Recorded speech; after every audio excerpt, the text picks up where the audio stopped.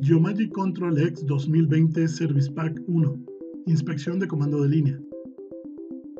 Esta primera demostración muestra el flujo de trabajo simple de abrir Control X e importar un escaneo usando solo la línea de comando. Simplemente proporcione la ubicación de la aplicación Control X y la ubicación de los datos de escaneo del objetivo.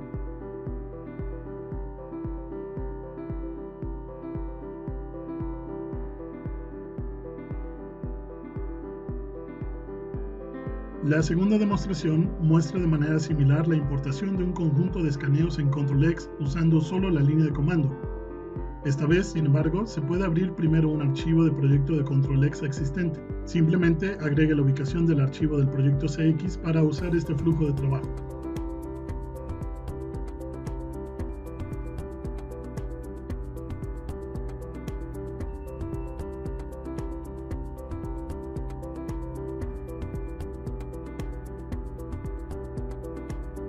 La última demostración lleva todo un paso más allá y ahora demuestra la creación de un archivo de informe utilizando solo la línea de comandos. Esta vez, el usuario proporciona la ruta a un archivo de configuración.